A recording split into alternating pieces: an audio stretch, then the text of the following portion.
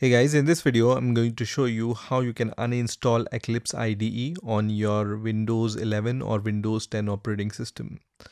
Right now, I'm using Windows 11 operating system, but the process will be same for Windows 10.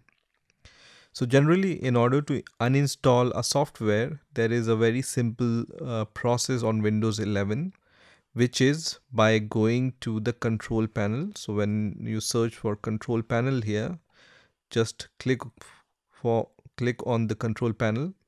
And when you uh, click under programs there is the, an option called uninstall a program. Just click on that.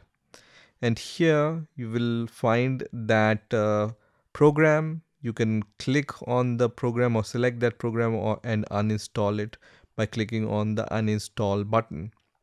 But eclipse is not listed in this list. So how we can uninstall eclipse if it's not even listed in this list.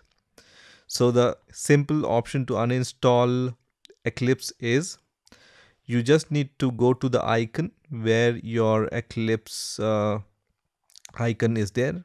In my case, it's on desktop. But if you don't see this uh, Eclipse shortcut icon on desktop, you can even search for Eclipse uh, on your Windows operating system. So I'm going to just search for uh, Eclipse here and you will be able to see this Eclipse option. And then what you need to do is you need to click on this option, which is called open file location, right?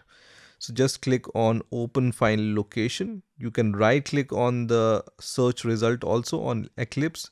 And here also you will find the open file location. If you see this icon shortcut on the desktop, then right click on the shortcut icon of Eclipse and then also you will find open file location here. So just click on the open file location using any of the options and you can see uh, in my case Eclipse is saved into this folder which is called codebind. In your case it will be your username, right? So there is this uh, folder which is called Java and under this this Eclipse folder is there.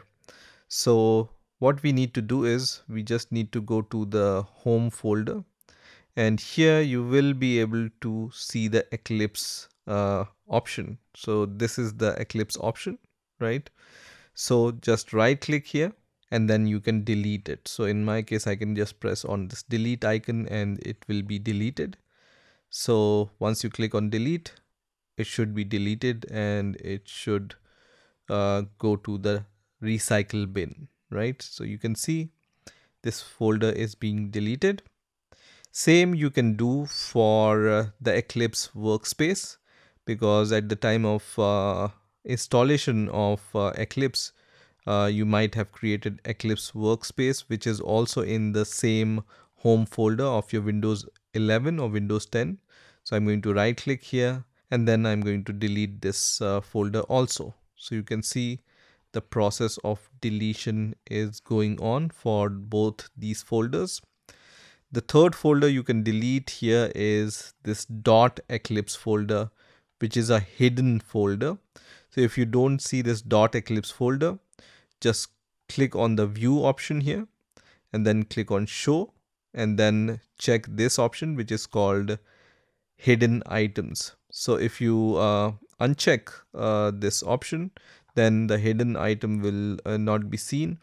And if you check this option then you will be able to see the hidden item. So here you need to delete this dot eclipse folder also. So i'm going to right click once again and then i'm going to just click on delete and it's going to delete that folder also so you just need to delete all these folders related to Eclipse and once all these folders are deleted, Eclipse will be removed from your Windows operating system.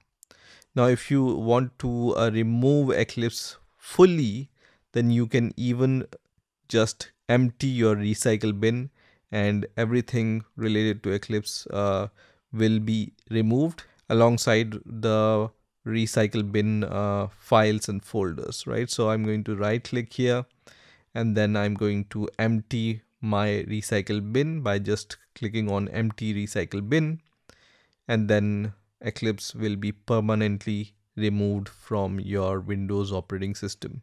If you see this shortcut icon even after the deletion of Eclipse, you can manually delete it also. So right click here and then you can just click on delete and this icon will also be deleted, right?